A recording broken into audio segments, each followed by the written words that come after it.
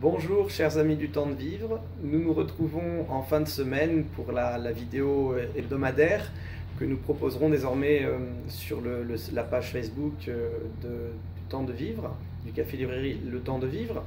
Nous vous avons proposé de voter cette semaine pour un des trois livres euh, que nous avons présentés, mardi, mercredi, jeudi, euh, cette séquence s'appelle donc Un jour, un livre. Et le livre qui obtient le plus de suffrages, en l'occurrence cette semaine, le Club des Hachichins de Théophile Gauthier, euh, fait l'objet d'une petite vidéo de présentation pour vous donner envie d'acheter euh, cet ouvrage, acheter les autres, d'acheter, de, lire du moins cet ouvrage.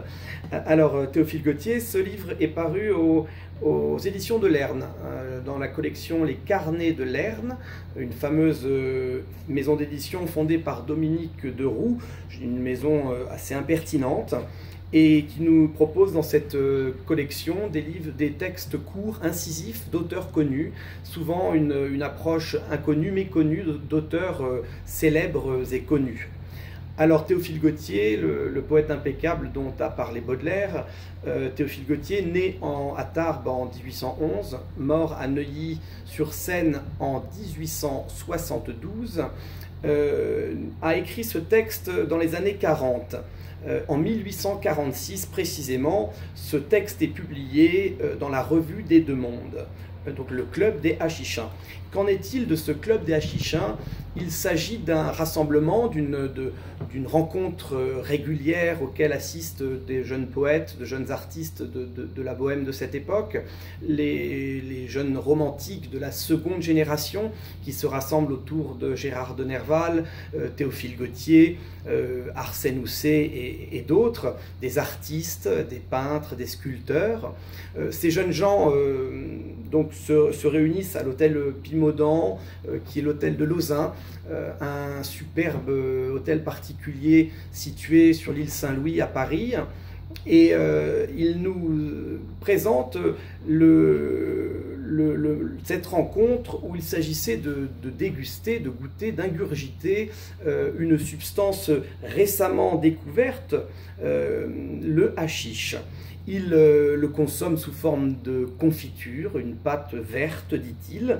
Euh, je rappelle que dans la préface, euh, il est rappelé que le médecin aliéniste Joseph Jacques-Joseph Moreau avait découvert deux ans auparavant, donc en 1844, le hashish au cours d'un voyage en Orient et écrit à son propos le premier traité scientifique du hashish et de l'aliénation mentale. Voilà, donc Gauthier, nous propose sa, contribution à cette euh, réflexion, à cette expérimentation. Euh, c'est avant tout un texte poétique, puisque c'est un texte qui nous emmène, ou Gauthier nous emmène euh, à, sa suite dans, sa fantasia, dans, son, imaginaire, dans cette hallucination que, provoque le, le hashish. Un très beau texte.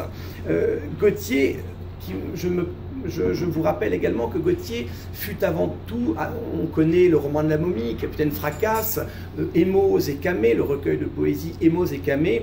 Euh, c'est avant tout au poète que, je souhaite euh, me référer, puisque Gauthier a, été le dédicataire de la, de, des Fleurs du Mal de Baudelaire.